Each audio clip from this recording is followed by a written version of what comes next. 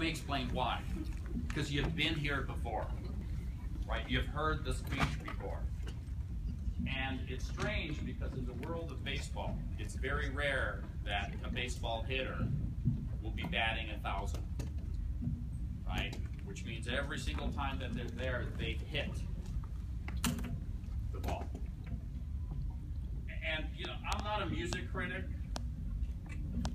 and maybe there's performances. I know you internalize a lot.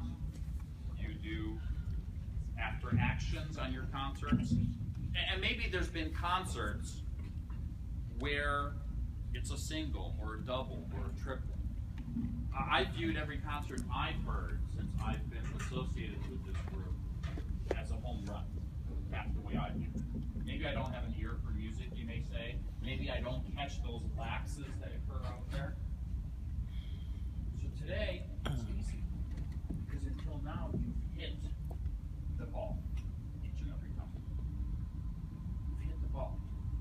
And tonight, that's what we expect from you. You're up at the plate, it's coming at you, you're going to hit it. Later on, we'll talk about it over a beer later tonight and say, you know, was it really that good? The reality, at the end of the day, what do you portray to the audience that's sitting here? Portray the Commission Corps of the United States Public Health Service. You don't portray the ensemble, right? You don't portray a clarinet player, right? You don't portray a keyboard player. You don't portray a soprano or an alto, tenor. You're, you're not here as individuals. And what the group out there sees, they see the commission corps in front of them. Today I was reflecting with Real Admiral Moritsugu as we were showing pictures during the award ceremony. One picture really brought back a fond memory. And it was in fact one of my favorite gigs of all. This was the gig at the Air and Space Museum. Remember? Difficult acoustics and all that. But we wowed them. Remember? Remember the people lined up overlooking you on the ground floor? But the most important part of that event, and what really sort of reminded me, was I'm sitting there, and the guy next to me, I've told this story before, but the guy next to me is Vice Admiral Cowan, retired, former Navy Surgeon General. He was there as the representative of the Association of Military Surgeons of the United States. And about three quarters of the way through the concert, this Vice Admiral, you know, Vice Admiral, I've already forgotten, that's a lot of stars. I've not seen those number of stars on my shoulders, but that's a whole other editorial comment.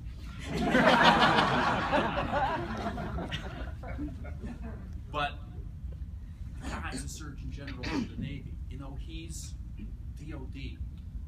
And I remember three quarters of the way through this concert, what he does is he turns to me with tears in his eyes. I don't even remember what song being sung or played, but it was touched to the core.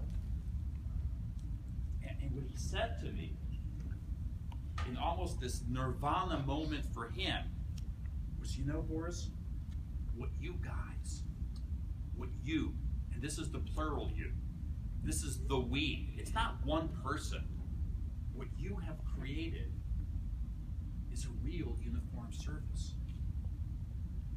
Remember that he portrayed us of what they viewed us in the days when he was Surgeon General of the Navy. He said, You used to be a bunch of civilians at HHS in uniform. That's what we thought. Mm-hmm. And I'm not here to defend ourselves in terms of perceptions of the past. But what you did in those few minutes was change a man's attitude. Realize the power you have by doing that? Today, there's going to be people who have never heard you before. There'll be the usual groupies, right?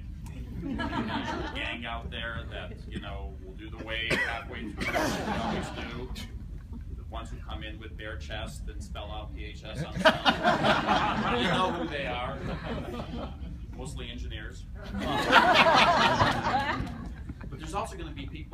first timers here. And tonight you'll do the same thing all over again. Somewhere in that audience will be a person so touched that there will be tears in their eyes. And somewhere in their audience will be someone who said, I had no idea. You know, emotionally for me, this is a big concert. It's huge. I've been associated with this group as an active duty officer since 2005. This is 10 years. Five of those years as the co-executive director, and five of those years just as a fan who happened to have a title and some stars on his shoulders. I've been blessed and honored asked on multiple occasions. You obviously can't don't know real talent because you keep asking me to come back to MC the uh-huh. event. But that being said, I am honored and humbled to once again be the MC of tonight's event. For me, this is going to be an emotional evening. But you know, in the future, I'll be in their audience there clapping, and I'll be the guy, maybe by myself, starting the wave. I'll be the guy with the bare chest, and I'll spell out the whole damn word PHS.